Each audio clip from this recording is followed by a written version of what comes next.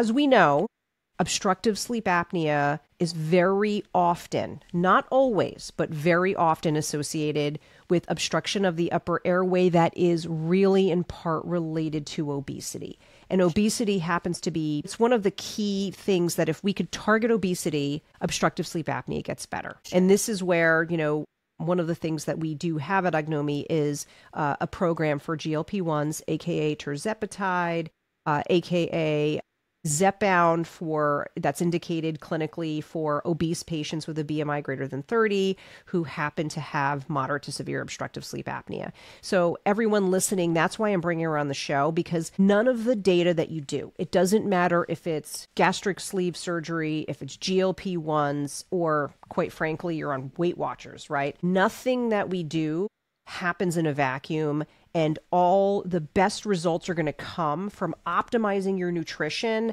and movement. You need to put those two things together, plus optimizing your sleep. So, Kristina, with that being said, you mentioned that you're doing research in terms of protein foods that you supply and that people can purchase, but there's also other types of nutritional programs that you offer. And I think one for people who are on GLP 1s and then one who are not. So, if I'm remembering all of that correctly, I'm going to turn it over to you to kind of talk about what bariatrics and Ready Pro, which I believe is the food component of that, talk about that with everyone and share what, what y'all are doing over in your company. Absolutely. We're very proud of our initiative in Ready Pro. So, Ready Pro really is the food lineup.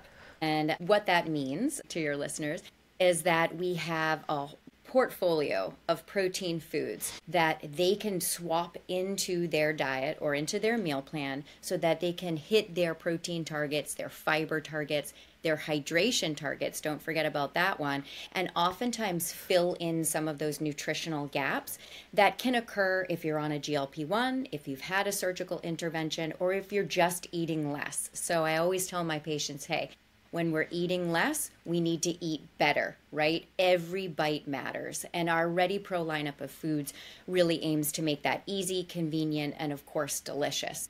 If it doesn't taste good, forget it. I'm not eating it, I'm not selling it, I'm not promoting it, I'm not using it with my patients. So it has to taste good. So at the top, sort of line of what we do it's we manufacture great tasting protein foods that drive best outcomes for our patients. And it sounds like this would be particularly convenient for folks who just find it difficult. You know we're always talking about optimizing whole foods. For some people it's just difficult or they just don't have the they just don't like to cook. Some people just hate cooking I'm one of those. I have a husband who does the cooking, to be honest. So, if that's the case, this could be a really convenient way for you to be able to supplement, as you said. Speaking of protein and fiber, and yes, you emphasize hydration, which is so important. What are the typical goals that you see? I'm I'm curious because I've actually worked with a nurse who was doing nutrition for myself, and you know, one of the targets for me, I'm five foot two, is like 100 grams of protein and that can be tricky to get. So i was is that a accepted and recommended even in your community I'm curious. Yes, exactly. That's our minimum baseline. So we have registered dietitians that can support the patients who enter into our programs. And that's really where we start all our conversations as it relates to protein with our patients. We say, let's just get you working towards hitting that 100 grams minimum target. And like you said, if you've ever really stopped to track, and see how close you're you're getting to even hitting that minimum goal it's oftentimes pretty hard unless you're being intentional about it. And that's sort of the next thing that we layer into our conversation with patients is okay first let's try to aim for that target goal that gram goal. Let's do that through being very intentional about the choices we make. And let's keep it simple. There's nothing worse than what I think I used to do when I was very green in the field. And I would sit down with a patient.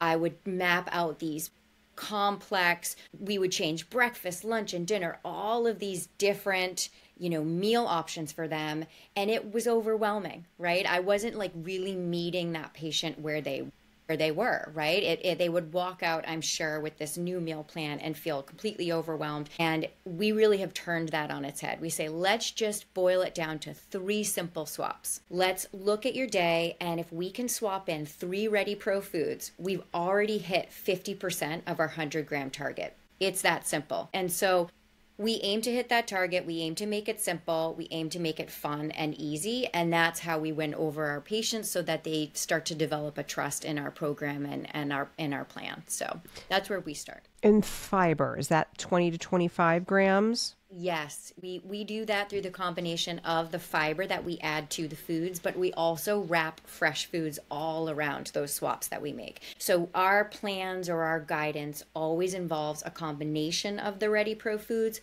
with whole fresh foods. So patients are getting their fiber from their um, leafy greens, all of their non starchy veg, and the smallest part of that plate, which does incorporate whole grains. So we are aiming to try to get that 25, 30 grams per day. Well, I love that you're mentioning that too, because one of my observations is that people often start GLP 1s. Again, I'm mentioning that specifically because of the link with obstructive sleep apnea and the data we now have for it. And what ends up happening is if they don't actually really lean into how do I modify my life in a way that I can try to hit those targets that you're describing, fiber actually fills you up, guys. And so the GLP ones take away your appetite. Believe it or not, it's kind of hard if you're really aiming for, if you're aiming to get those fiber targets, you're not really going to be hungry. It really fills you up.